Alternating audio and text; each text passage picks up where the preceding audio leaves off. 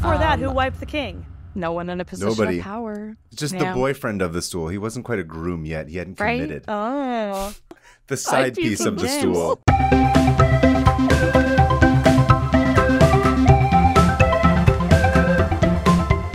Hi, everyone, and welcome to 500 Open Tabs. I'm Kaveh Taharian. and I'm Hannah Hillam, and today we have a special guest. She's an illustrator and designer from Oklahoma City and has been working anime and comic conventions since 2007. Please welcome Alexandra Brodt. Hello. Hey, Alex. Welcome. Yo. Welcome to Nice to the see you. podcast. Indeed, nice to see you too. It's it's been a minute since uh, Emerald City, where we got City. to be feral. We Yeah, that was a fun That's time. Last time we so all hung good. out, we were up in That's a- Seattle in uh, what was Yeah. it March of this Yeah. year. We had an evening after, as often happens after a convention's over, we all just Go insane. I don't even know, go insane because they're Yeah. so exhausted. And Yeah, tired artists just feeding off of each other's manic energy. It's great. Everyone loves us. Uh, Extremely yeah, popular. Totally. We believe that. extremely. As long yeah, as I we first- believe that. I think I first met you at Emerald City, right? It was like a few years last ago. year. No, two years ago. Two, I think it was two years ago. ago. Yeah. 2021. Two, what, 2022. Yeah. No, I don't know. four- wait, Let's just keep saying numbers. This Never is crucial stop. for the podcast to know which year it one, is. two, five. Um, Some time ago. yes. Anyway, Uh, yeah. Yes, you you also know another one of our friends, I believe, Stephen Ray Morris is a person. Oh, yeah, uh, of course. Yeah, who I saw this morning. I, I was on You my walk to go morning? get coffee, and I saw. Saw I've him? seen Stephen a couple times because I just walk around in North Hollywood when I go get coffee, and he's there. Uh, I ran Steven into him. sighting. Steven sighting in the wild. He said hello. Um, but Alex, thank you for joining us on our podcast. Uh, I'm sorry that you have to do this, but we're thrilled to have you. Ah, well, you know, I'm, I try my best Apologize. to donate my time, the altruistic side. Don't you? Uh, so why don't you tell us about your your open tabs? How many tabs you got open? Are you an open ha- tab haver? Is the first question. I believe that's actually how you had me do a little blip on the Emerald City live stream that you did was Oh, because that's I was like, right. oh, Oh, that's right. I nice forgot to meet about you, that. Kaveh. I actually have 500 open tabs right now. Mm-hmm. Um, How- what- so what it's tab actually count are you on now? 495 right now. Oh, Four ninety five. Same. Mhm. Very impressive. Hold on. Now I gotta check. I totally forgot. You came to our absolute disaster of a live stream that we did on YouTube where we couldn't figure out how to get two headphone mics to work. it was. Oh, you not mean the commonality of me Yeah. and a disaster and headphones. Not the last Oh. 45 minutes. Oh, wait, I actually have a watch on this one. Oh, Listen, it was a good time. It doesn't matter. It's okay. We were having fun. I was singing songs. Hannah was getting sweaty. I don't know. It's just usually what we do. I blacked out. Um, I don't remember the last yeah. hour. I made Anyway, some so you got a lot of tabs open. You're part of it. You're into it. Thank you for joining us on the show. And since you are our guest, we're going to let you go first with your story. Why don't you tell us what you've got? Okay, well, this summer, uh, this new Amazon Prime series came out called My Lady Jane, based off this wonderful book series written by a few authors that I have no idea what their names are, but it's really good. So the book's the same name, My Lady Jane, and it's about Lady Jane Grey, who got beheaded, you know, um, Tudor era at its finest. Let's just behead everyone. Um, Oh, yeah. But basically, she The- the good old uh, days. was accused of usurping the days. throne by Queen Mary. Which she did. and, Uh, and she got yeeted. so, She did. uh, but this Even is, this is though a little twist. Her cousin was Um, like, "You're going to be the queen." They still That's killed her. right. Doesn't matter. That's right. Doesn't matter. That's right. Mary Queen of Scots over there, just like, Psycho. what's going on over there? Anyway, Mm. and so Continue. a little bit different than the book. There was a, a position of, of power, some would say, that was introduced that I was not familiar with in all of anything I know about the British monarchy, which is not a lot. The groom of the stool was Oh. mentioned. Sorry, what? Like shit? The gr- You get Oh, married no. to shit? yeah, is this So the stool, remember a how stool you're like, sit on? "All right, or... Alex." You got to be on deck. And I was like, up. Oh, Groom of the stool. That's my nickname from now on. Stool. oh, that was a good. That was a good royal accent. Why, why, thank you. Should I continue this in this accent the entire time? The no. All in the accent. I hereby decree that the groom of the stool must continue this teb. The tail Tib. of the groom of the stool. Okay, wait. Or, so what's as the some groom of might the say, stool? Groom of the king's close stool. Oh. Oh, what? Oh, indeed. Indeed. So they added more words to that, and it makes less sense. it, uh, Classic English language. It's classic. So initially, this position, uh, much as you would anticipate, uh, if you have got it. Uh, Groom of the stool. He's already. You've already got him. This is already my favorite tab. I, I know, right? I was like, oh man, this seems like such a thing that they would do. I hope that I have not You're right. uh, double decked, really. Here, he- here's what I'm gonna say. You're Yeah. Taking something that is from both of our like. This is something he would do, but this is also something that I would do because it's Right. all Yeah, about it's like true. ol- old English crap, and then English. it's all about probably poop Crap. and toilets, which is what he loves. I'm so Okay. glad that I could join this together. You've already knocked it out of the you. park. Yeah, already See, this is what you've great. missed. You've missed me. Yeah, of we course. have. So this position, uh, groom of the stool, started out as you might, you know, infer, um, with a bit of ass wiping, a little bit. Oh no! It Oh, is no. uh, initially, as as the Wikipedia article says, initially responsible for assisting the king in excretion and hygiene. What does that mean? Like just He wiping? jumps oh. on his belly. It is the physical intimacy of the role Ugh. led to the role, the man having a lot of confidence uh, in himself and the knowledge uh, that he gained from such a intimate role. Oh, he saw Uh, everything. He saw everything. He smelled everything too. Ugh. Dude, do you think they still do that? You think Charles is in there with some dude? Like what? Unfortunately, uh, Queen Victoria kind of. Oh wait, Oh. no, it wasn't Queen Victoria. They actually were still using it. I was At gonna least say it did publicly. It sound, evolve throughout. Yeah, it could have just have a different name the- now. The centuries. the, the royal. but yes, King pooper Edward scooper. Yeah, the it could Seventh be- in 1901 discontinued. Oh, seventh. Okay. The Yeah. Duke of Colon is essentially what it's going to be now. Indeed, indeed. or the Duchess of Colon. Listen, it's No, 2024. No, Anyone The can be part of that role. I like Indeed. Duchess sounds funnier. Duchess of Colon. but Duke is The Duke of the. Deuce.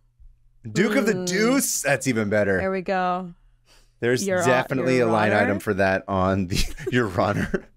But it was honor? a position of honor a little bit. Uh, at So least get, they like, definitely chosen? told the person, poor person who's subjected to that, that it was.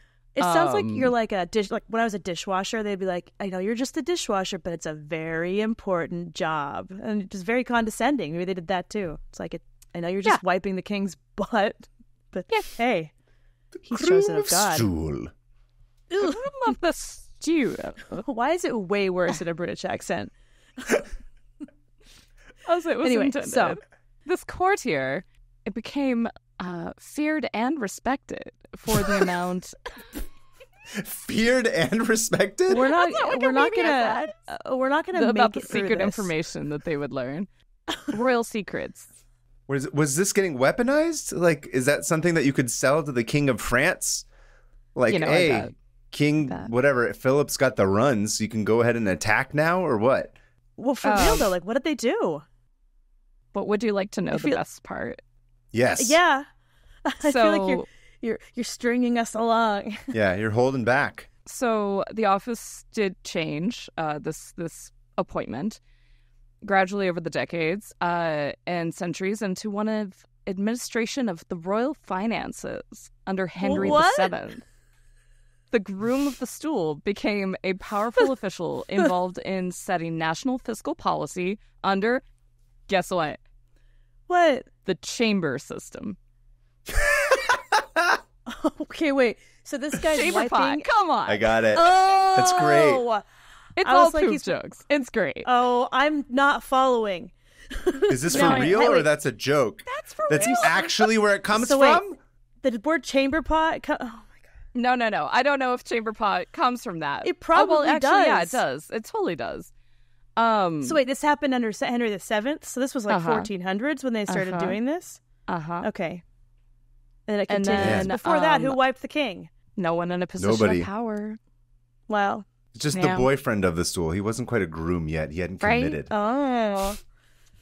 Just a little side piece. well, the side piece piece of of the stool. the side piece of the stool. The mistress. No, that doesn't make No, no, no, because we'll get boy. to ladies. Hold So up, what 'cause are we've we had some even? queens What in is our this time. of the stool? Continue, yes. Mhm, mhm. Okay. So later in the Tudor era, because we've had some queens in our time, Mhm. the groom of the stool position evolved into the first lady of the bedchamber. Oh, that's Okay. so much nicer. First held in 1558 to Oh, yeah. Elizabeth I by someone named Kate Ashley or Kat Ashley. Oh, Mary Uh, Kate and Ashley Olsen's descendants. Right. Mary Kate and Ashley wiped Queen Elizabeth the First. Yeah, That was one of their like their twin movies I that they the did after they left Full House, right? now. Where they travel back in time. they go back in time and they are The two of them are like this back to back. That's why the haunted look. yeah, they're they're deep haunted, and then they're like, yeah, Yeah. we- we- in order to get a good husband, we had to be part of the quick queen's court, you know. Anyway, That's the only way they could them. get back to the te- present time. Yeah. I'm sorry, they had continue. to, to marry well. it's true. It's true. but sadly, after only one year, the office Aw. effectively bec- came to an end when it was neutralized in 1559. I mean, I really wish What that the, went down? the Wikipedia article had gone just a touch further and used evacuated, because that would have been. Yeah, that would have been way better. Neutralized sounds like someone got put down. Murdered, yeah. I was Like, What you do to like a assassination. which rival direction government. Did you go? Yeah. Yeah. Did you just So why did it eliminate go away? someone? it just it just did. Um, I think there's but something don't there, worry, some It drama. was revived. Oh, good. Yes, in uh in 1726, under the Hanoverians, the groom of the stool began to be named in the London Gazette. John Chamberlain Oh, wrote that while Lord Chamberlain has oversight of all the officers belonging to the King's Chamber, the precinct of the King's bedchamber is wholly under the groom of the stool. so he's in charge. He's just So in charge in of the king. and now called the gentleman of the bedchamber. Okay.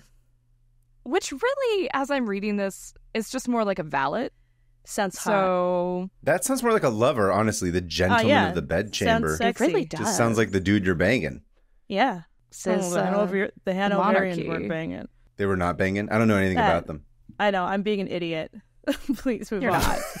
They that, famously that just goes to me. I'll take the hit. But yeah, anyway. So they brought it back.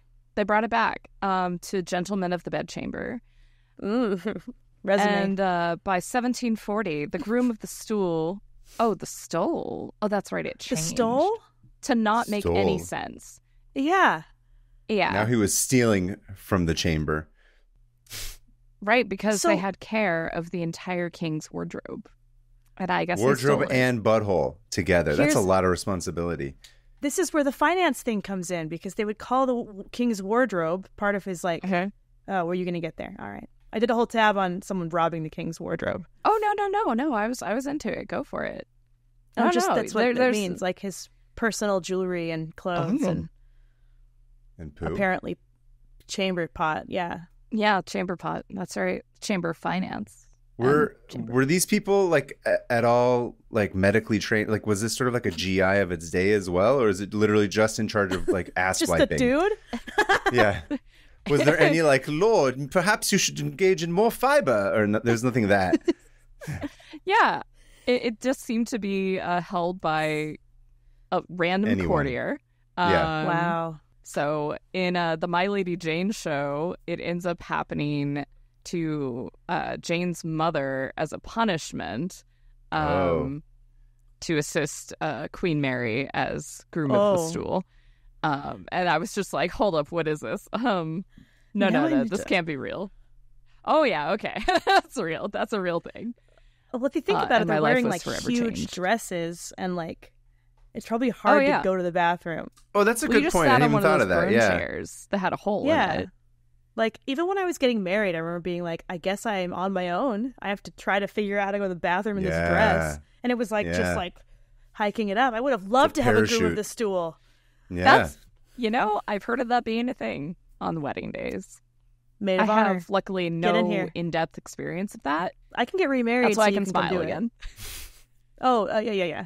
But yes, so the final cut, the final cut in 1901, uh, when Edward ascended, uh, acceded to the throne as King, King Edward, Edward. the Seventh in 1901, Uh. he discontinued the office of the groom of the stool. So Victoria Another used it up why till she died. sucks. That, Yeah, Edward pretty the much. Seventh's not the Nazi. Edward the Eighth is the Oh, who- Nazi. Oh, I'm sorry. I see that like What I'm. was Edward the Seventh people's- steal? He was just a dude. Yeah, He's just a dude who didn't like yeah. the stool, the groom of the stool. Yeah, I guess not. I guess he was like, "Don't touch me." yeah, pretty I much. can I can don't know. understand that. I would be deeply uncomfortable with the groom of the stool. Like, "Don't just for touch the me." record. Yeah. Yeah, But- I got but my bidet. That's all I need. Prince That's your Albert groom of the and their stool. son. That is my groom of the stool. I'm gonna start calling it that when I go to the bathroom. Yeah. Yeah. Wait, Prince Albert? What? Oh yeah. Oh, Prince Albert and uh and their son. So Queen Victoria, Prince Albert, Mhm. and their son Edward, Prince of Wales, employed similar courtiers. Like they they Oh. all used them. Hmm. Hmm. hmm But when Edward Well- uh, became king, it was like He's like, No I'm more. done with this. He was the one that they thought was uh, Jack, not Jack the Ripper, but um, Edward the Seventh was one of the ones they were like, he may have been Jack the Oh. Ripper, because he I would just go that. bang people down in White Yeah. Cat, White, White, White, what? Whitehall, no Whitechapel. Whitechapel. Yeah, Yeah, I'm loading my Um, knowledge I on you, dumb Huh? stuff. This is No, the no, wrong no. place for that, Hannah. I just I just heard um someone saying that a popular theory about Jack the Ripper is it's Edgar Degas. I've The- heard that that too, too. but Yeah. I haven't. I didn't look very hard into it, but he was Interesting. insane. But I don't Yeah. know. But uh, for, I for all it. the fans uh, following, Hannah was part of um, it. Yeah. uh, there is a list of all the grooms of the stool on this Wikipedia Oh my article. gosh. Mm, Oh are there a gosh. lot?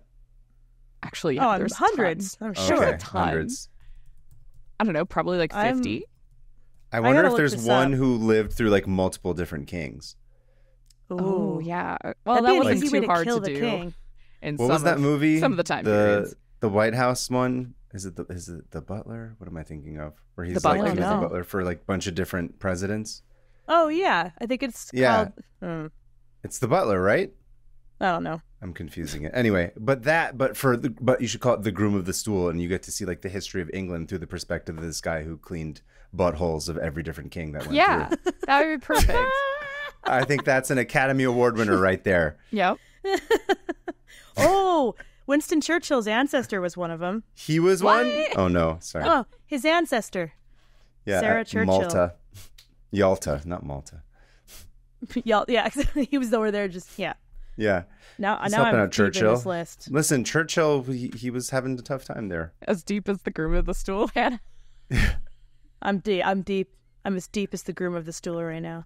Wow, So, lots of by- people. so- Sorry, tell me again. What year is it officially that it goes away? 1901. 1901. So we haven't had one for 123 years on the record officially. Is it? Off the record. Um, Off. That's what I'm saying. Off the record, I think there's different ones. And I there was just one different names. on record before the Tudor monarchy. Oh. 1455. William Oh. Grimsby was yeoman of the stool.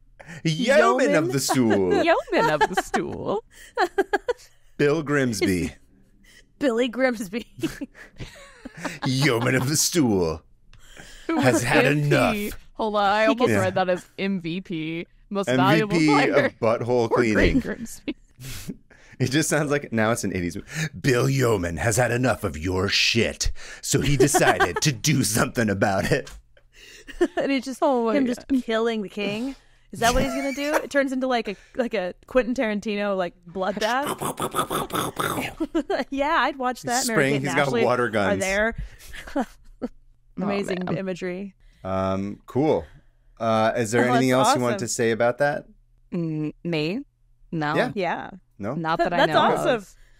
Yeah. nice. Thanks for All sharing. right. Wait, I wonder Thank if that's where sharing. the word stool comes from. I have to look that up Groom now. the stool. Mm, okay. I mean, like, maybe they were having to sit on a stool next to the monarch.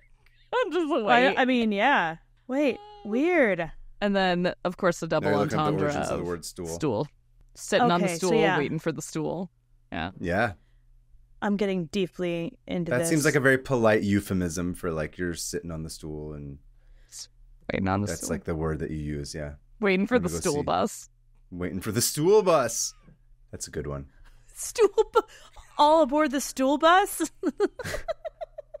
I need to get out of this. I can't keep reading my stool. Okay, hold on, hold on, hold on. Here we go. Oh yeah, it's just called stool because it, it, that's what they called the thing you sit on anyway, and it looks kind of like a mm-hmm. throne. Yeah. like Yeah, the makes king's sense. stool was his throne, and then he also had one to. Anyway, wow. Mhm. Okay, so yeah, the alternate version cool. with a hole in it.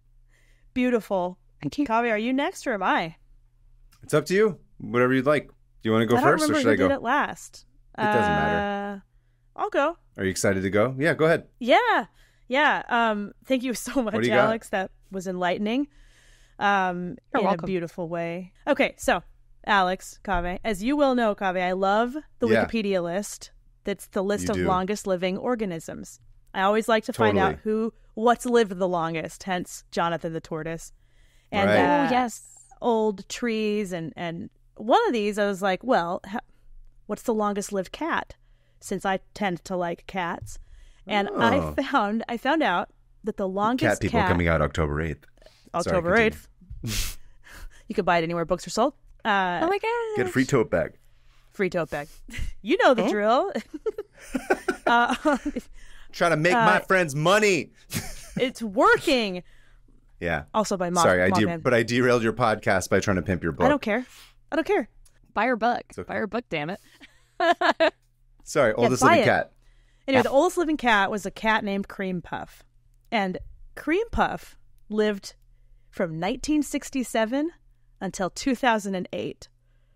Whoa. This cat took Whoa. this cat lived 38 years and 3 days, which is Wow. double the amount of the oh. average lifespan of a cat. So, My this god. is roughly 168 human years. So like shouldn't have lived this long, right? So I was like, oh, that cat's ancient. How did that? And it was like pretty healthy.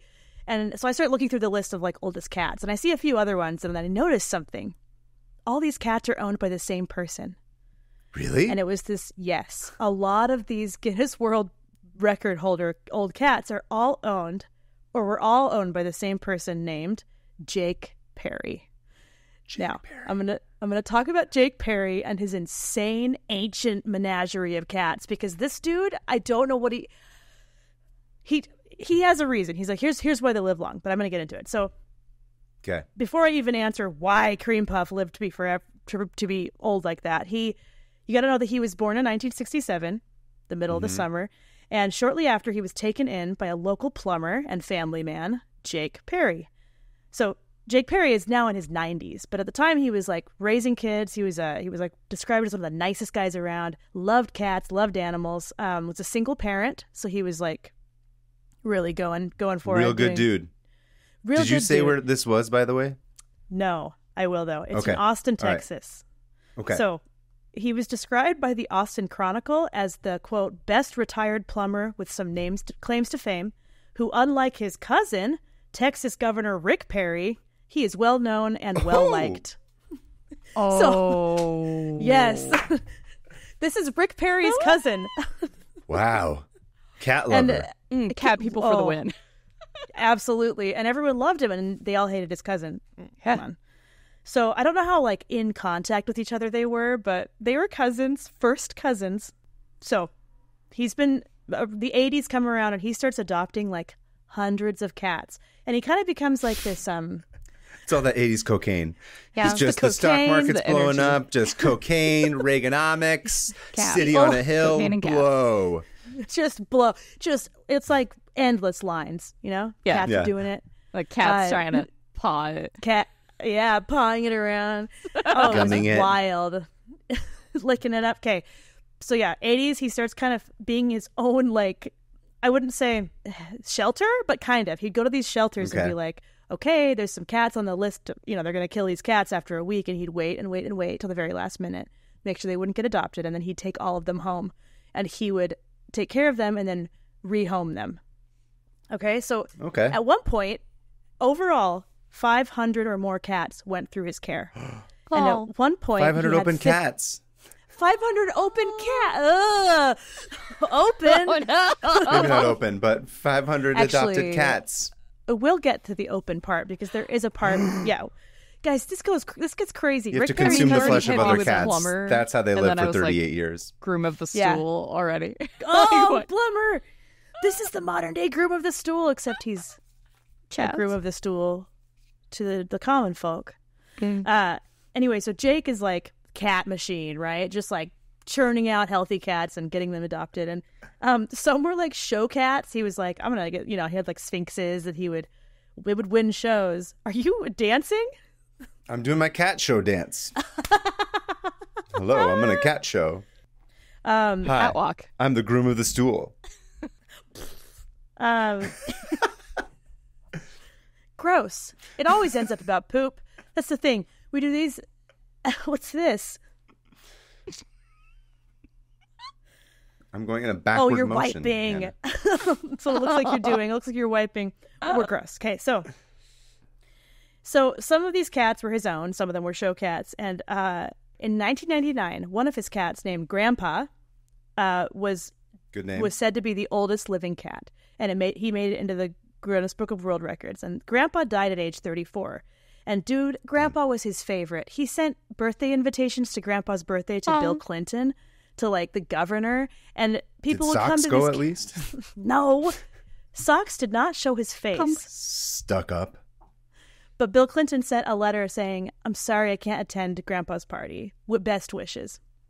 Grandpa died later that year, so maybe that was the Out of maybe it was Bill heartbreak. Clinton's Catalyst. yeah, the catalyst for his- But yeah, Grandpa.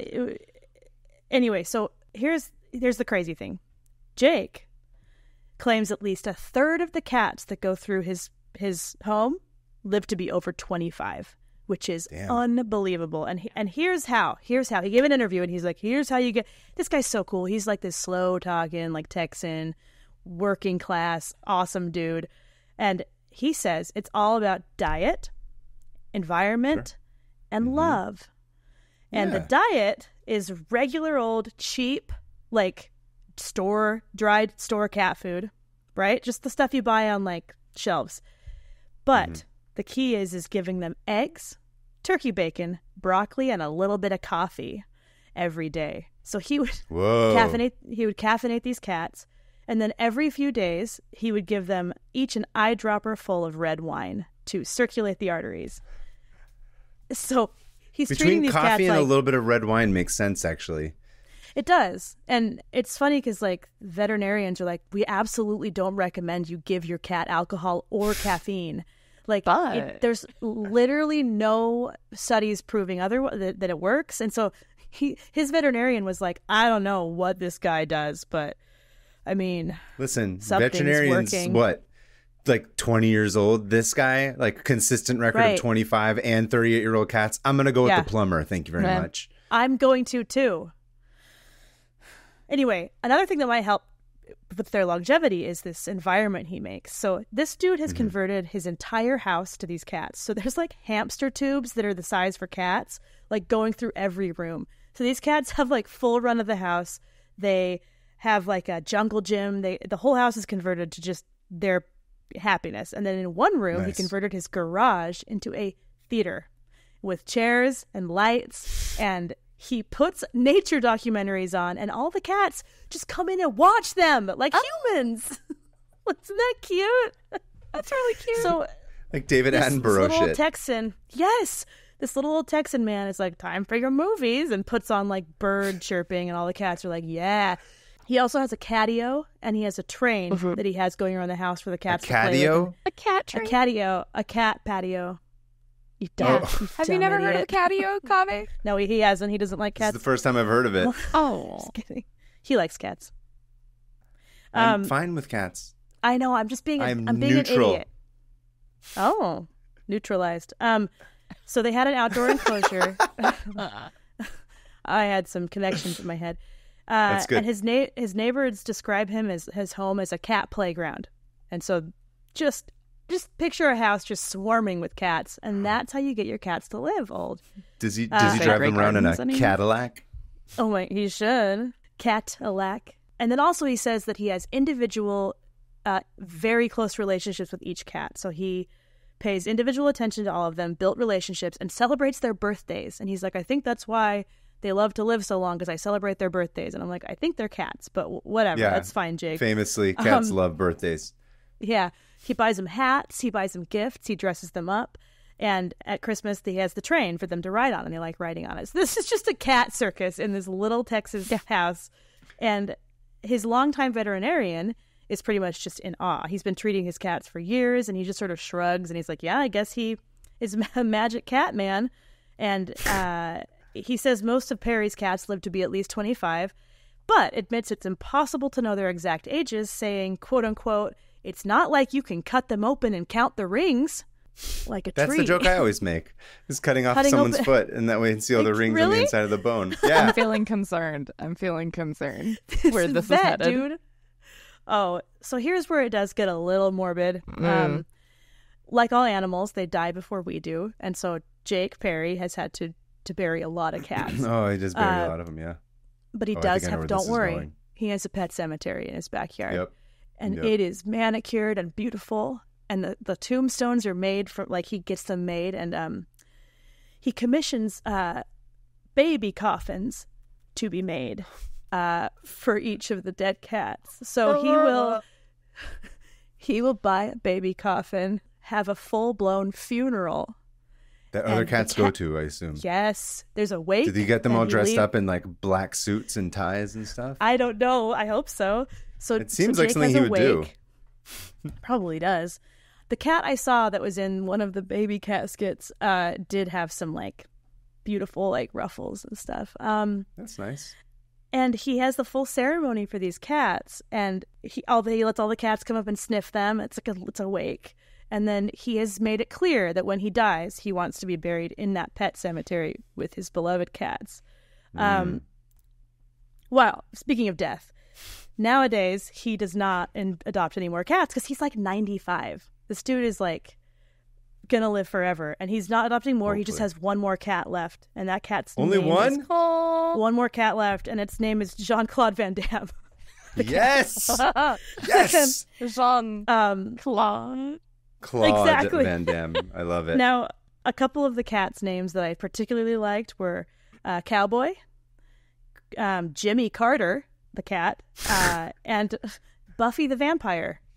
That's it. Buffy the What, Vampire. no Richard Nixon named Slayer? cats? What Not is this? I- shit? I bet there should have right. No Slayer, just Buffy Dick the Nixon Vampire. erasure. Just Buffy the Vampire. just just yeah. fan fiction twist. Like Yes, like it's like he heard the name of the sh- he heard the name of the show and he was like, "That sounds good." but uh, then there was another that I- cat named Slayer who would always like be next to Buffy Fight the with Buffy. Vampire. Yep. And then it was it was just a one two cat show. the article I forgot to say the article is called "How to Raise a 165 Year Old Cat" by Christina Couch. And in the article, Christina is talking about how she meets this guy because he's her plumber. And he comes over and she he's like talking about how his cats live forever and she's like, "Who is this crazy dude?" Who's this crazy guy? And he, he's like, Yeah, I got a home theater for them and kind of telling her everything. And she was like, Huh? And finally he shows her pictures and she's like, I got to do an article on him. But then he just oh, ghosts her for like What? years. No. Apparently he had like cancer and he was like, Sorry about that. I Oh, had cancer. I thought he was like, I don't trust the media or something. Right. well, she went and poked around his house and she's like asked his neighbors and stuff. Anyway, reporter stuff. Finally he granted her an interview and he sent her, he let her take pictures of all of these different cats. Let me show you. I'm going to send you a few photos, okay? So here is Jake. Okay. I love him so much. Jake is wholesome. Uh, Did it he's, go through? Uh, he's wearing like a camo hat. He's wearing Yeah. like a plaid short sleeve shirt that you would get at like Mervyn's. I don't think Mervyn's. is Yeah. around. Is Mervyn's still around? Mervyn's. No. Mervyn's. I don't not know what around. Mervyn's is now. Uh, uh, Kohl's, I guess. Kohl's is probably the Yeah. equivalent. Yeah. And then he's just he's just wearing some like I'm assuming Wrangler Levi's. jeans. It's some, you know, Levi's. Dillards, you know. He's he's working yeah. man. And he's got the most gnarly His plumber sunglasses hands. are intense though. Yeah. Here is Oh. Cream Puff. Oh. And he would do these full blown like JC Penney photo shoots with these cats, like posing Yeah. them in He'd go get his plaid shirt and then and he'd go get a he'd cat get his portrait. plaid shirt. exactly. And This uh, looks like something Cream someone Puff. would buy at a convention too. Oh, 100%. This dude would have loved CatCon. Oh, he would have Oh, had a great time. Um, And this here he is with Grandpa. Uh, Grandpa is like this No. ancient looking Sphynx cat. like uh, Oh, I just love these photos because you see his gnarled old hands holding these Yeah. beautifully posed cat Mom. photos. And here he is with Cowboy and Jimmy Carter. Um, they're both also sphynxes. oh. Mhm. Uh, but yeah, so he's very proud of all these cats, and he's he's got. Don't worry, he's got a pet cemetery, and he wants one of his dreams is to actually open a pet cemetery for other people to bury their animals and offer the services of the baby caskets. I can't say the word baby casket without feeling kind of icky, but um, I, I wonder uh, what that process is. Like, does he have to go to the city and just be like, I want my home to become like a monument of some sort? Or like a, I don't know. a protected building? Because it's got, you said it's all customized for cat stuff. yeah, you can just donate it to um, the city and then have that be part of the cemetery, I guess. There's probably some Make sort it of into, like, a not easy, but legal process. A cat But, I mean, cafe. it's yeah. interesting. I don't even know if he's alive. I tried checking, but I don't think he's. I didn't find an obituary, but Yeah. he should He's be about ninety-five now. That's Also, the like, thing. I- sorry. I don't know if you No, can be ahead. No, buried in your own backyard. Like, you can do depends on the, the animals. municipality Yeah. Yeah. because I there are no some. idea. I thought this this was America places. last I, I have. I have be- because my dad used to Oh. make the joke when when we didn't have health insurance. He'd be like, "Don't get sick, or else you're gonna get buried in the backyard. We don't have health insurance." and it, it sounds dark, but we all thought it was funny. No, yeah, no. I It's get like you. we can't afford a funeral. Let's just go back to the Yeah. backyard. And I looked Yeah. it up. Also, I'm once, like, I why own a I? home? Like, if I can't even bury my, like, I'm gonna pay Right. more money to get buried somewhere Right? else. What the shit is my backyard for? They're just Interesting dig because me I up was thinking anyway. about all these cat funerals. I was like, wow, this is expensive. Yeah, yeah, yeah. It is. I think he raises money intense. for the funerals. But Yeah. that's Jake Perry, Rick Perry's uh, way better cousin, Yeah. who Way is cooler. the cat daddy of all. You know? Cat daddy. Yeah. Wow. I feel like I just talked straight through that without letting you guys talk at all. No, My not at all. apologies. I- You know, I was just proud of you uh, for how succinct, succinctly you were able to uh, go through that article, unlike me. So, oh, it's hard. It's. I wasn't like this. It's taken a lot of practice. Yeah. You were both excellent. And the whole point of this show is to get your a la carte experience of different styles of storytelling. Uh-huh. Okay. What Um, do you have so- for us? Yeah. Uh, well, thank you for being the Yeah. cat daddy of this podcast. Um, welcome, I'm just going to go cat back to being the regular non cat daddy Oh. as much as I can. uh, okay. So, You're more like the whale the time daddy this 'cause airs- you love whales. whale daddy. You always end up talking about whales or like this is not about whales, actually, for Oh, once. or sharks. What? No sharks, Wait, no animals That's in about this one. stool, right? It's about Captain of Stool. Captain? Sorry, sorry, groom of the stool. It's, I'm the stool like captain, of this podcast. I'm gonna get a hat. I'm gonna get like one of those sailors Yeah. hat that says Captain of Stool, Stool captain. uh, or Stool Captain. Anyway, I'm gonna letter in stooling. That's like you know when you're in varsity jackets. Oh yeah, I just a lettered giant in S. theater. I'm lettered in stool. Actually. Uh, 24. Yay! Anyway, so my tap. So by the time this airs, the Olympics will have been over, but they've been on my home nonstop because Sarah just loves to watch them and uh, she doesn't stop. And uh, sure, it's cool. We all played some sports as kids and maybe even a little bit in high school, but clearly nothing Alex of note. is shaking right? her head. No. Not even. did, did you play any sports? Oh, I did kendo in college. Oh, that counts. Uh, Oh, Which, okay. if Yeah. you're not familiar, is a Japanese sword fighting sport. That- Yeah. that's cool. That's a huge flex. Yeah. yeah. I did a little league, like little like soccer and baseball. I played in No like kendo. two softball games of a oh, friend yeah. who needed someone, and I was like, "Oh, this is not for me." No. We're not we're not here to compete. But fun fact, I did play with someone who went on to be an Olympian. Oh, You did? Yeah, and by played with, I mean I warmed the bench for. wow. Oh. Ooh, and by sport? warmed the bench for, I mean I was actually in the overflow area away from the bench warmers because I was basically on the team in case a tragic event killed the first, second, and third string players. So the groom of the groom of the groom of the stool. Listen, jokes on them because I graduated and went to an art school no one's ever heard of, and I started a very mid podcast. So who's laughing now? Clearly not our audience. All Uh, 150 people who listen to this. They're laughing. There's more Um, than that. I did. I did play with. Um, his name was Peter Varellas. He went on to Stanford, and then he went to play in the Olympics as a water polo player. He's a lefty. Good As guy. a what player? Very talented. Volleyball? Lefty, which in water polo, if you're a oh, lefty, water that's an polo. asset. That's right. Yeah. Oh. Wow. Good Right. job, that's Peter. my connection to the Olympics. Yeah. Not whales, anyway, but so still water. That's true. It's still aquatic. So Yep. it- it's cool to be an artist, but frankly, we will never achieve glory in the same way.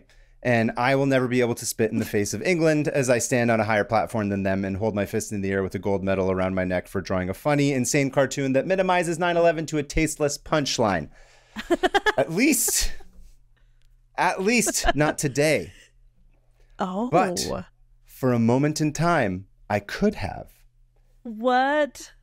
That's right. Today I'm going to talk about a brief period where one could win an Olympic medal for art. Oh, I briefly. Okay. Tell me all Do you guys know about about this? Yeah. So, This is- from 1912 to 1948, gold, silver, and bronze medals were handed out in Olympic art competitions across five categories architecture, literature, music, painting, and sculpture. Whoa. This set of awards was named the Pentathlon of the Muses, with its winners decided by an international jury. This is true. That's awesome. Because that's all very Greek anyway, because the Greeks were like, we like art. They Yeah. just like that. So it's exactly right. So all entries were required to be original and sport themed. Uh, artists could also submit multiple works, meaning they could chalk up more than one win in a competition. And What? over its 38 year run, the juries uh, awarded a total of 151 medals to original works in the fine arts inspired by athletic endeavors. This story goes back to our boy, Hannah Pierre de Coubertin, from episode Mhm. 21 of this podcast, which was Marathon the Moon. one that like, what did he do? Oh, he was Uh, he he- was like instrumental in getting the Olympics to be in Chicago. No, he was like the dude. He like created oh, he the Olymp- back. He brought the Olympics brought them back. Yeah, he's the main guy. I remember. Yeah. Episode 21. Go listen to that if you haven't. Pierre it's a fun de one. Coubertin. Famously against So- racism. So we have Against that to- racism, Good for him. founder of the modern Olympic Games, apparently saw art competitions as integral to his vision as well. Because to him, what it meant to be a true Olympian was someone who was not only athletic, but also skilled Uh-huh. in music and literature, much like you said. yes. Initially, he struggled to convince overextended local organizers of the first few Olympic Games in Athens, St. Louis, and oh, Paris that St. art Louis. competitions were necessary, but they didn't budge. But he remained adamant.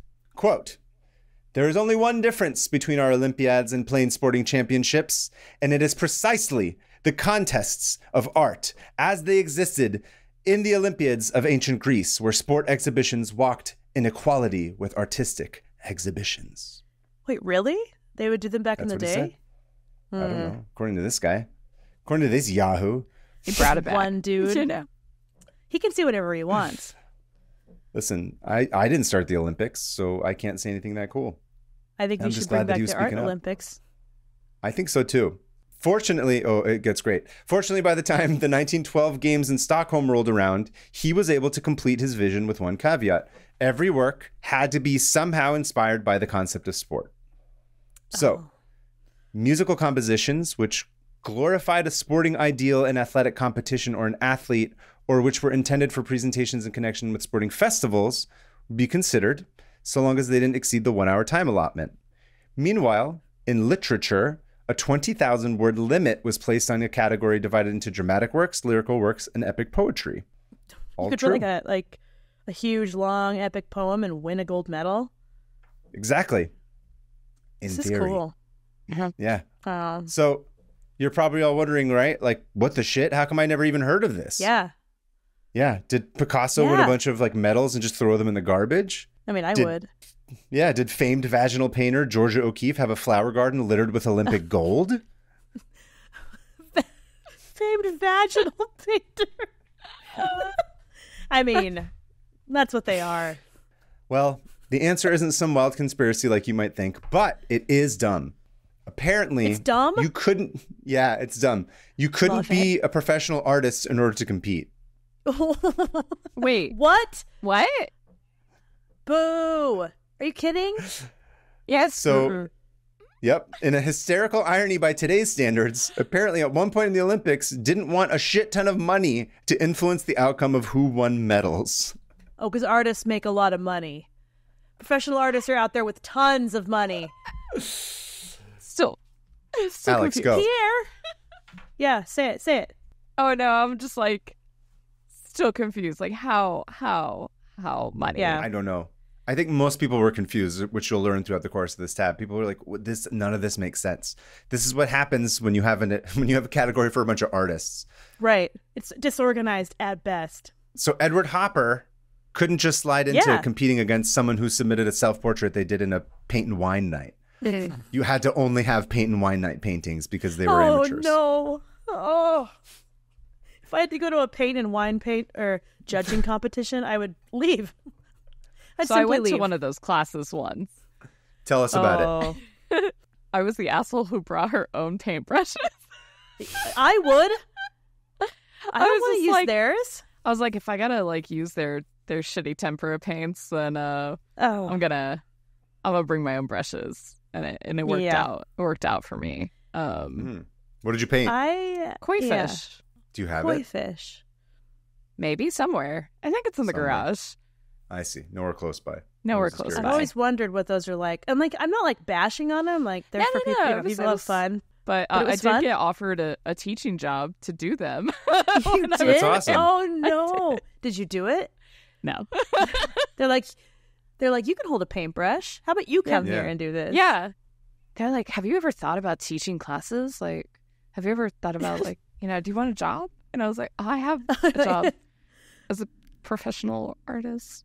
Do yeah. they give you? Do they give you like a prompt? How does it work? the artist hosting the class like did the painting um and has like a final one there and then they grab a blank canvas and then they they started anew and and show you how to step by step basically do it Oh, I see. Yeah. It's not like uh everybody paint whatever they want. It's Yeah. like you have to draw one specific thing. You have no to you do have to draw the one specific thing Yeah. I didn't know that. That- I see. I see. Nothing is worse. That sounds horrible. It sounds like a prison. It's fine. I'm glad people enjoy it, and that is why it's there. Okay. Listen, some people respond to structure because they don't know. It's too overwhelming to start with. Uh, and so it's good No, for a I'm little glad. guidance. Yeah. chaos That's what I'm Um, saying. I'm just saying for me, and I'm glad there's paint nights. Uh, and of course, this being an art competition for art people, no one was like super good at keeping track of anything or like archiving stuff. And so there's not a whole lot of available availability in terms of like historic record. that I love that it's just lost to history simply because a bunch of artists did it. Except, except for, you guessed it, Oh no, The Nazis. The Nazis. Ah. oh No. How did I know? The 19 what? 44 Olympics was it or 38 or something? 38 at the opening of the 1936 Olympic art competition. Pencil dick urethra sniffer and minister of propaganda Joseph Goebbels He's such a piece of crap. That dude's the worst. They're all bad. He, re- he reminded his audience Joseph that each good use it in your Olympic competition for art. yep Uh, he reminded the audience that each work entered in the competition was required to have been created within the last four years. And this restriction, he declared, enables us to derive from the exhibition an estimate of international conditions. Basically, he was like, yo, Nazi crew, mount up and make some epic Nazi paintings and shit so the world knows that we're Oh. absolute human garbage. Man. Ugh. They always they ruin literally everything. Everything. Yeah, Um, we can't tell a home- story without them getting their d- dumb little fingers in it. It's true. And uh, home field fingers. advantage worked great for Germany that year. The international jury consisted of 29 German judges and 12 from other European countries, so more than double. German artists who won five of the nine gold medals awarded that year. By contrast, their combined gold medal count from the 28 and 32 Summer Olympics had come to a grand total of one. Whoa. Um, so they suck balls. Fully rigged. German musicians they sound like also swept the musical composition for solo and chorus category. A pair of German brothers called Werner and Walter March took home Ugh. golden architecture for their design Reich Reich Sportfield. The Oh. latter was based on the Olympiastadion, Olympiastadion, an original structure designed by Werner that had been built to scale right there in Berlin over the course of the previous two years. It was currently housing the Olympics competition in handball, equestrian, soccer, track and field, and is in fact still in use today. They, wow. Oh. Still using that, huh? Survived the war? Yeah. Wow. Um, You know here's who my didn't favorite survive part. the role? You know who didn't survive the war? Nazis. Is Joseph Goebbels. Joseph Goebbels, dickhead. Unalived himself as he should have. So Yeah, I should have done it before any of this even happened. Uh, so, for some insane reason, juries in those days had the right to withhold a first, second, or third place prize, or all of the above, when the works failed to meet the standards that they imposed. Huh? So, j- basically, they were like, uh, "There's no first, second, or third place. No one gets an award. Everything sucks ass." So, So, it's like being back in art school. Basically, so juries were known to withhold as many as 13 art medals in a single Olympics. So there were years where people competed, no one got a medal. They were like, just go home and try again in four years. But they wouldn't allow Literally art professional school. artists. and they would not allow professional artists to submit. But no, sorry, it's not up to standard. But also, no professionals allowed. Yeah. Uh, As you can Hmm. imagine, this was a huge incentive for people to submit their best work. Hate the Nazis. That's Um, wild. Let's see. Let's send you some stuff. So here's our Oh, boy. yeah. Here's Pierre. He's just chilling, doing his thing, walking around. I believe that's him in the hat with the cane. Or I could be wrong, actually. I oh, don't know. I'm so excited. Uh, and here's a picture of some of the medals Oh, look that at you can actually see as well, Oh, whoa, cool. I guess. if you were able to get them.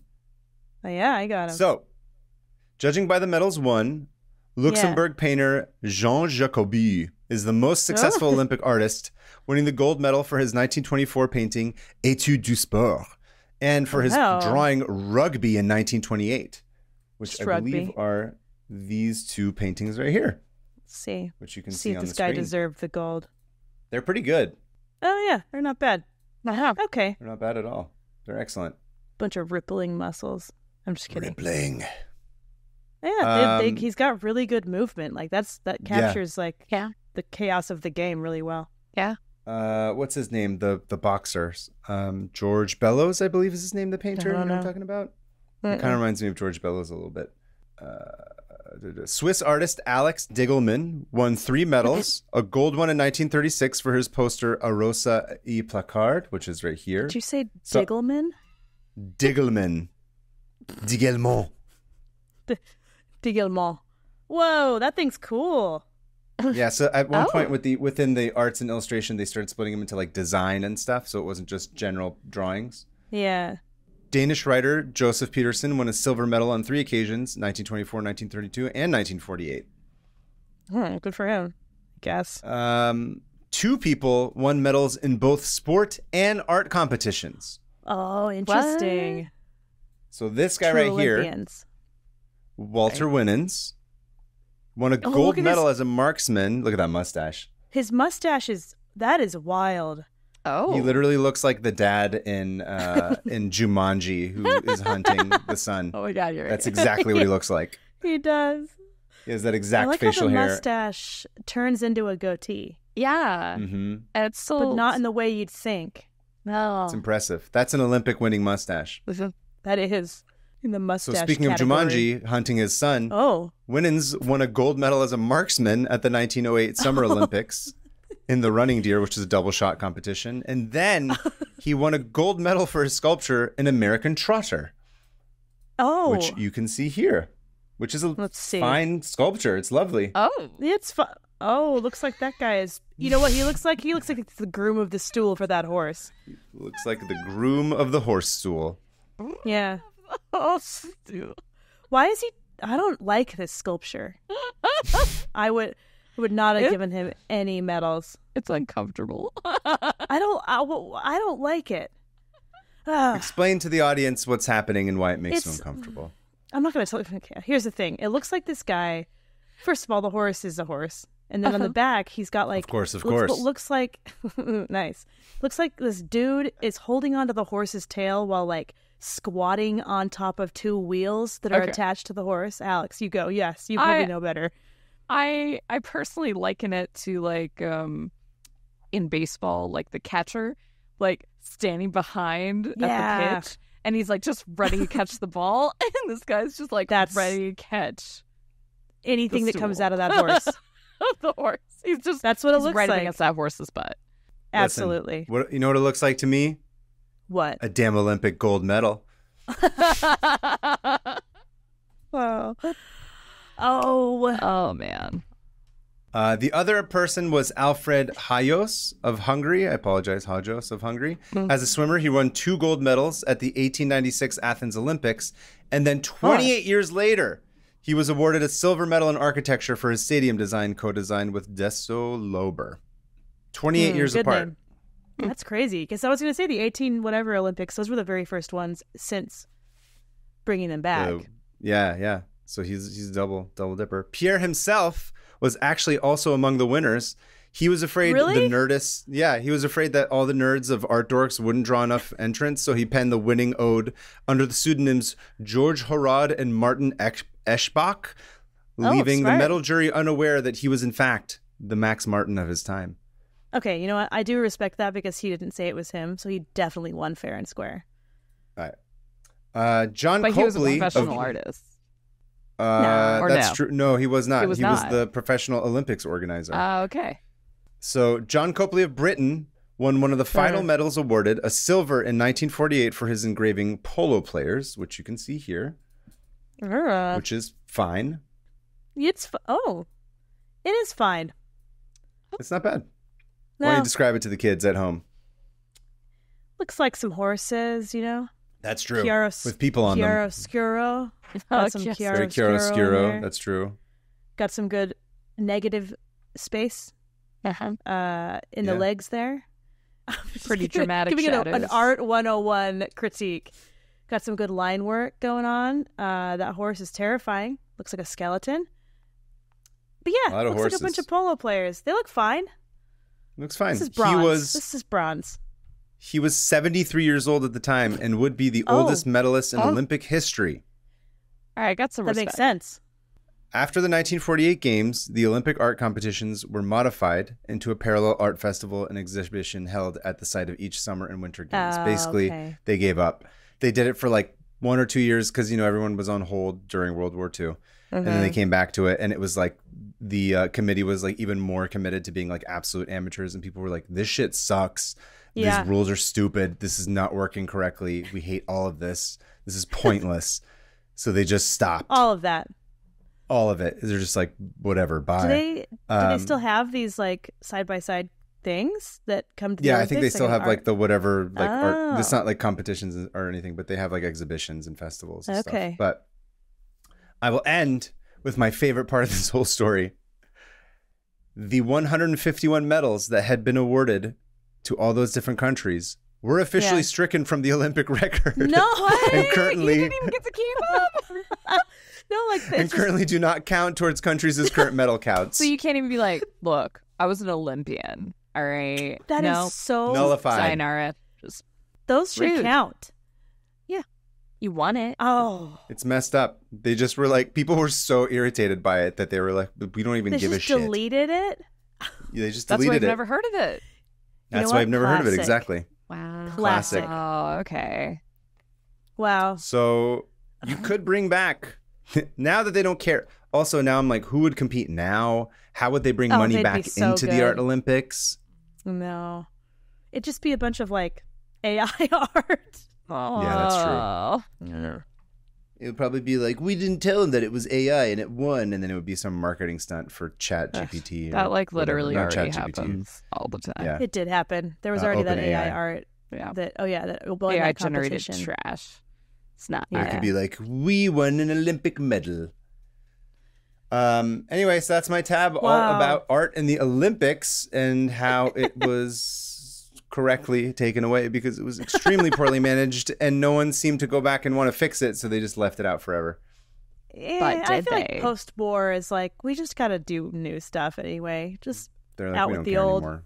Artists aren't the people. last- they don't do they're not anything good. people. Um, we should just marginal push them to the very edges of society. nothing. It's fine. Yeah. So Nothing to the world. Kaveh, did you not read uh, about they're talking about bringing back art in the Olympics for LA. Oh, I did Huh? not see that. No. yeah. That's how I thought you like um Oh, I missed that. Yeah, I just was yeah. reading um the the article I found was from a couple years ago. Oh yeah, yeah. No, I think it very was like recently. Atlantic That's how. I found out about art in the Oh. Olympics. What did you learn? Tell us. Uh pretty much that um they're talking about bringing back some of the art competition in the Olympics for LA in 2028.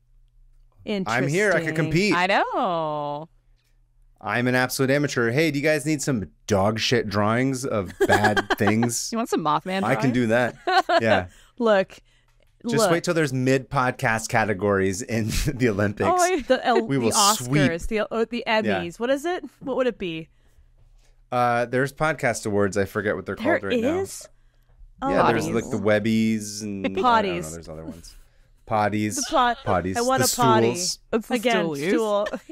The stoolies. The stoolies. We would definitely win all the stoolies. we we do talk about it a lot.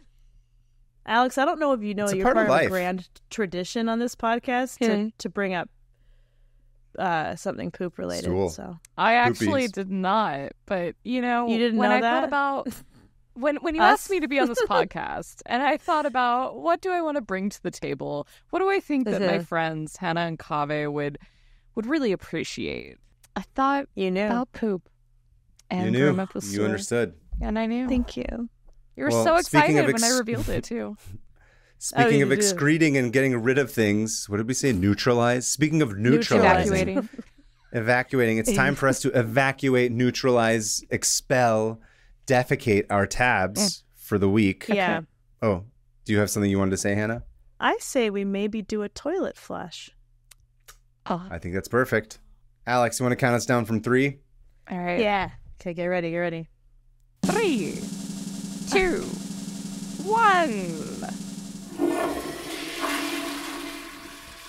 Ooh, fl- oh, it's not going down. There's too much. Oh, wait. Call the plumber. Oh no! Call your yeah, call the plumber. plumber. Call How do I save my You're- cat? Whatever his name was. Jake. Jake, Jake shows up Jake. covered Like in State Farm. cat hair. He's there. Jake Sully. Jake. Um, wow. All right. Okay. That On to listener emails. good. Hannah, you're up first. All right. This is from Taylor. We don't know where Taylor's from. Taylor says, Hi. I'm just catching up on the older episodes and listened to Kaveh talk about the Nintendo hotline. All right. It brought back my favorite story from my mom. When my parents were dinks, for dinks, du- du- dual income, Double no kids. Yep. no kids. All I the used to make the joke that that we were sinks, we were sinking and not dinking because we had single income, no kids for a little bit. Uh, that's Uh, also uh, Doug's neighbor. Remember Mr. Dink? Oh yeah, He was a dink. Oh. That was the whole thing. Is that's why he had all those different contraptions. Remember, every week he was Oh, like, "Oh, I've got some new toys," because he was him and his wife were had no kids, so they had all this money. Oh my god. cool. When my parents were dinks fresh out of college, they lived near my cousins who were about four and eight year old, eight years old. My parents would babysit my cousins all the time, and my mom would play Nintendo with them. It was hmm. the classic scenario where the younger one just got an unplugged controller. He clearly didn't mind because one day he was so excited and jumping around. He then gripped and hit his head on their glass table, earning him his first set of stitches. Oh my I'm god! right. Look, Nintendo related injuries are a real 90s kid thing. Yeah, it's true. I got I got a controller thrown at me multiple times by my brother. Hit in the head. In your fine. thirties, Yesterday. Um, I'm writing in because the older Thanks, Stu. brother thanks Stu rhymes with poo. No, that's not a Bisque. coincidence. Bisque. thanks, Bisque. Thanks, Biff. Thanks, thanks, soup. Okay, I'm writing in because the older brother would call my mom at her very official engineering job at the power plant to ask her for help on Mario levels. So I may not have stories of calling into the Nintendo Power hotline. My mom was the counselor for my cousins, which I think is pretty cool. Love the podcast. It's been an awesome bringer of joy during some rougher days. Taylor, Uh, thanks, Taylor. Appreciate you writing in. Um, that's awesome. what do you got? Uh, let's see. Email number two is from Chris from also an undisclosed location, uh, but for reasons. Hello, Kaveh and Hannah. I Hello. love listening to the podcast. I love the chemistry between you two and listening to you info dump You guys do an amazing job compiling and retelling your tabs to fun story compel to fun compelling stories and info. Thank you. Oh, uh, the tabs thanks. I will be talking about dot dot dot have the Oh. opposite effect. oh, For context, I work at an Good. undisclosed airport as a ramp agent. This is why we don't know where Chris is from. uh, Going rogue. Ramp agents are the people that load and unload the bags to the plane, and you see them with the orange sticks guiding the plane into the gate. That job's Yeah. awesome. I've always wondered how you even get to that, but Like shout out for Anyway. getting our luggage there. Thank you. Yeah, thank you From you. Artist Listen, Alley. shout out Yeah. to them. Shout out to the the air traffic controllers. oh, Shout out to people who don't let us all die. Jesus Yeah. Christ, what a thankless job of like keeping safety together forever. Can you imagine? Um, uh, no, I don't. I, I don't even No. want to. don't I don't want to know what goes on. I Yes, just want to know that you. we'll stay alive. Thank you. And you know what? Triple salute I was to just all you fine folks. At my position, I am provided a scanner and physical paper of the flight information. The paper gives me the number of bags, arrival time, gate, and other info I won't bore you with. With the fast paced and spontaneous environment, I end up having to Google search the airline initials with the flight number. For example, Air Canada Flight 304 equals AC304 because sometimes it's more accurate than the paper. Uh-oh. So by the end of the day, I tend to collect dozens and dozens of di- tabs of different flights I have completed. If I were to not close them on a daily basis, I'm sure I'd have my own, you guessed it, 500 open tabs.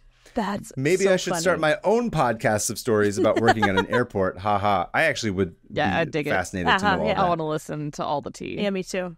Yeah. Also, it's like, are, is there beef between people? Like, do the do the ramp people hate like the air traffic controller Yeah, people to right? the pilot? Like, there's so much. I don't even know what happens. I'm like fascinated Southwest to know. versus Delta or something like what The Yeah. flight attendants just like flip them all off out the windows and gate agents Yeah. like revolting.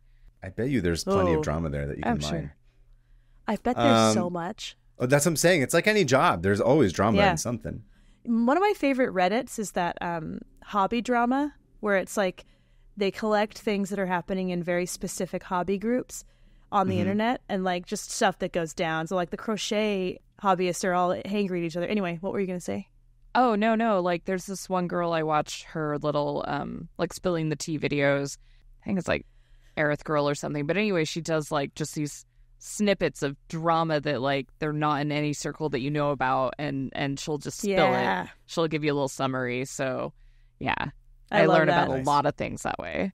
Um, just to wrap up the email, pretty boring compared to other listeners listener emails, I'm sure, which I don't agree with. It's actually pretty Mm-mm. interesting. Listening from the tarmac, Chris. Thanks, Thank Chris. you, Chris. Uh, if you have a tab that you would like to submit to the show, please email 500opentabs at gmail.com. That's 500. You can also try submitting a voice memo, which we would love, but keep that at, uh, to under a minute. Uh, let us know uh, about a tab that you learned, something fun. Let us know where you're from, and make sure to include the link. Um, otherwise, I think that about wraps us up, right, Hannah? Mm-hmm. Yeah.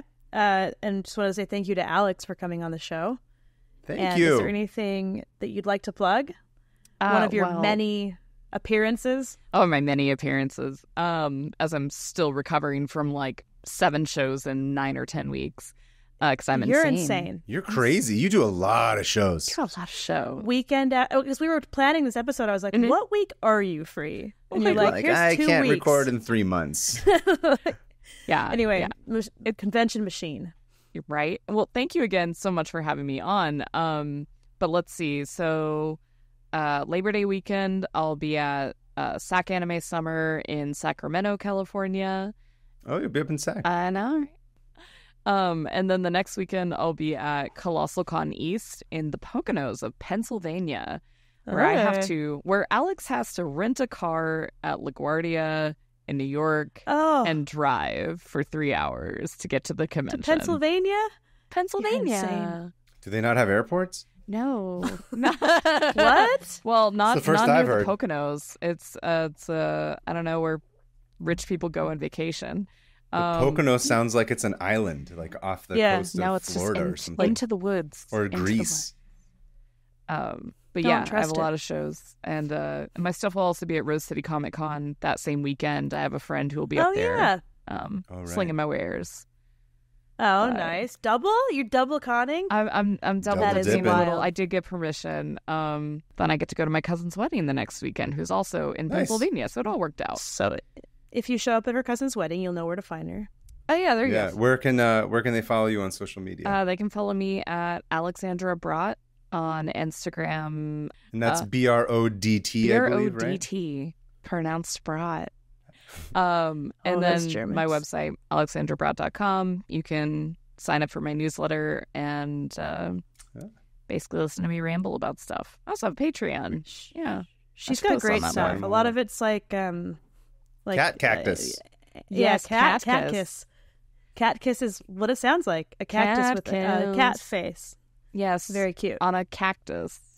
Uh, I am Yeah. working on a children's book about him, by the way. Are you Oh, that'd be serious? That's. Yeah. awesome. It's gonna be really cute. But her stuff is great. I use your bags that you sell for No. literally everything. Those little zip bags. So Thank you. The bags of highly recommend.